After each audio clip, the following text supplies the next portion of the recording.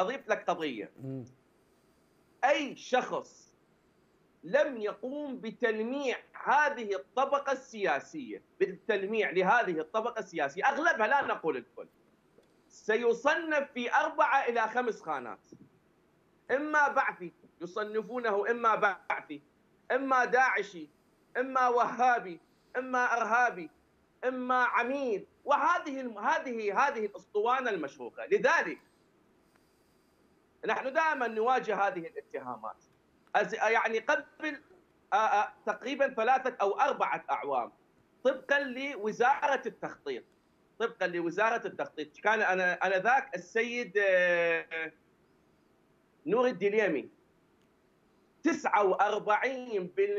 من الشعب العراقي 49% من الشعب العراقي ولادتهم بعد 2003 ولادتهم بعد 2003 زين هذا شفتهم من البعث شفتهم ماذا عرف من البعث ماذا يعني هو هو مخلوق بعد بعد السقوط بعد بعد بعد 2003 واللي عمره 10 سنوات 8 سنوات هذا شفتهم من البعث لذلك الآن إذا ترجع للإحصائية على الأقل 60 إلى 65% من الشعب العراقي لا يعني يعني ولادته بعد 2003 لذلك أي شخص لم يقوم بتلميع هذه الحكومات المتعاقبة منذ عام 2003 ولحد هذا اليوم سيواجه إما التهمة البعثية إما بعثي إما عميل إما إرهابي إما داعشي وهذه الأسطوانة المشهورة. زين أستاذ محمد هنا يسأل سائل لو سمحت لي.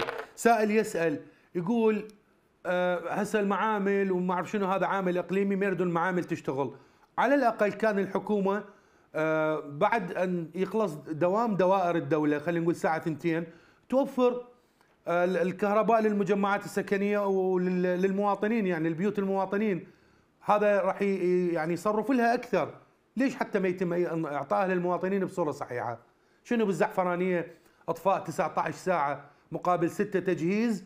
كل ساعة تجي كل أربع ساعات تجي ساعة متذبذبة ما تشغل سبلت.